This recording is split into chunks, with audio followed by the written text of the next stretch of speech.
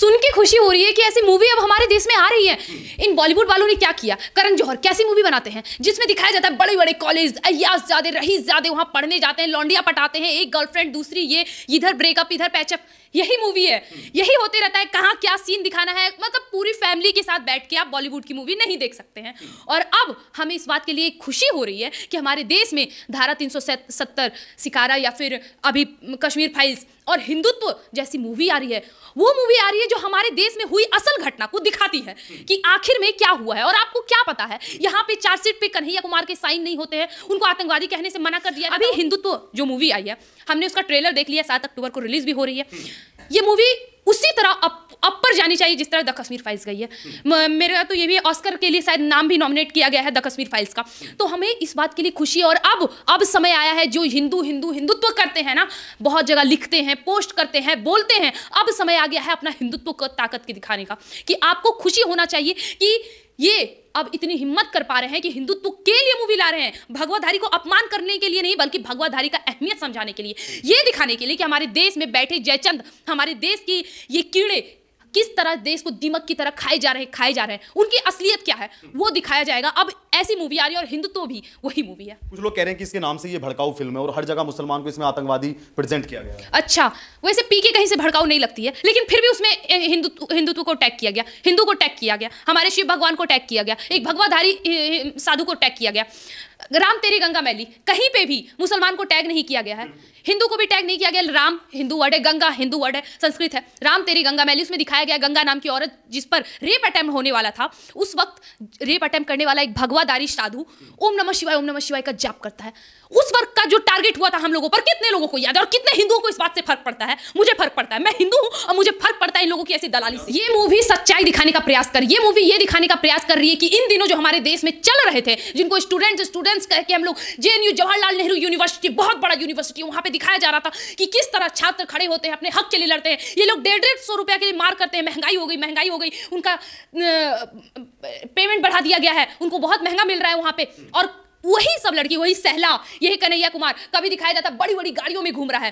तो फॉरेन जाके वहाँ पे एंजॉय कर रहा है। और आज जो ये मूवी आई है, इसमें ना सिर्फ़ धारा 370 पैंतीस से लव जिहाद हमारे हिंदू के खिलाफ हुए हर एक गतिविधियों को इंक्लूड किया गया है। और मुझे गर्व हो रहा है ये कहते हुए कि अब अब भी समय है इस देश की हिंदू लड़की। मैं, बहुत सारे हिंदू लड़कियों के मूल्य बॉयफ्रेंड बना रखे हैं ना। तुम कहना अपने मूल्य बॉयफ्रेंड को क्योंकि मैं जानना चाहती हूँ कि हमारे देश में क्या गतिविधियाँ हुई थी हम हिंदुओं के खिलाफ। और अगर तुम्हें वो, तुम्हारा मुल्ला बॉयफ्रेंड दिखाने लेके चलो, नहीं मेरी जान, तुम चलो, हम तुमको दिखाते हैं कि यहाँ पे हिंदुओं के साथ कितना गलत हुआ है। तो मैं मानूँगी, ये मूवी में एकदम सच्चाई दिखाई, मैंने ट्रेलर दिखाया मैंने ट्रेलर के हिसाब से क्या दिया, इसमें सच्चाई दिखाई गई है। हिंदुओं के लिए दिखाई गई है। हिंदुओं को सर्वप्रथम नहीं रखा गया है। ये दिखाया गया है कि किस तरह हमारे भारत को तोड़ने का हमारे भारत को काटने का हमारे भारत को जलाने का जिसको हम माँ कहते हैं हम हिंदू हम सच्चे हिंदू माँ की तरह पूजते हैं उसको जलाने का प्रयास इस हिंदुत्व मूवी में वो सारे मुद्दे दिखाए जा रहे हैं। वो सारे मुद्दे तुम्हारी सच्चाई दिखाई जा रही है। जो तुमने किया वो तुम्हें दिखाई दे रही है। तो इसमें गलत क्या है? सच्चाई तो हम दिखाएँगे। ठीक उसी तरह जिस तरह हमने राम मंदिर और ज्ञान बापी में दिखाया और अब काशी मथुरा में दिखाएँगे और बहुत जल्द जामा मस्जिद और ताजमहल में दिखाएँगे। आज वो सच्चाई एक छोटे छोटे क्लू के रूप में हिंदुत्व जैसी मूवी लाकर अब ये दिख रही है। और देखो, वो सब हिंदू भी देखो जो हमारे घर में भाईचारा का दुहाई देकर हिजड़े बने पड़े हैं ना, वो सब हिंदू भी देखो कि क्या हुआ था। तुमने तो नहीं देखा होगा, अरे छोड़ो यार, इन लोगों का काम है। अरे कन्हैया कुमारी तो हिंदू है, लेकिन मुसलमान के पक्ष में बोल रहा है मतलब कि ज़रूर मुसलमानों के साथ गलत हो रहा है।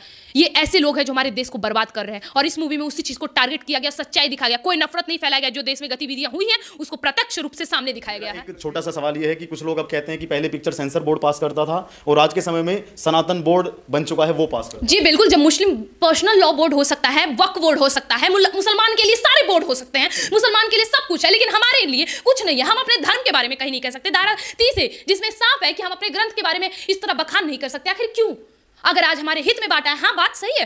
तुम हिंदू राष्ट्र में हो। यहाँ खड़े जितने भी आदमी हैं, तुम छाती मत पीटो कि तुम यहाँ पे हिंदू राष्ट्र बनाना चाहते हो। मूवी में भी है। इस हिंदू तो मूवी में बोला गया है, एक मुसलमान उस हिंदू लड़के को बोलता है कि तुम, मैं तुम लोगों की मंशा जानता हूँ, तुम हिंदू राष्ट्र बनाना चाहते हो।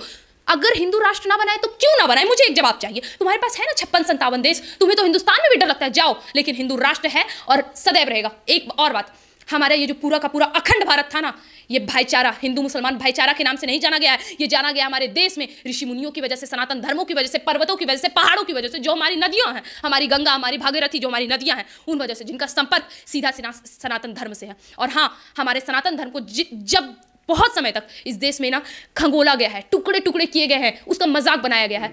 अब ये सच्चाई है अब पा, पास होगी तो सनातन बोर्ड के द्वारा। और हाँ हिंदुओं के पक्ष में अब ये सारी बोर्ड बनना उचित होगा। कि अगर कोई मूवी आ रही है जिसको हम देखना पसंद करते हैं तो हमारे पक्ष में होनी चाहिए। एक हिंदू एक मुसलमान। एक को पता है कि आखिर इस देश में क्या हो रहा है दूसरा को पता है कि इस देश को जलाना है। क्यों जलाना है? अपने कौम को बचाने के लिए। अपना कौम यानी कि उन इस्लाम को बचाने के लिए। पूरे विश्व में इस्लामीकरण करना चाहते हैं और इतिहास गवाह है कि हमारे देश में एक ही इतिहास रहा है वो है सनातनियों का। और ये देश अगर होगा तो वो होगा सनातनियों का इतिहास।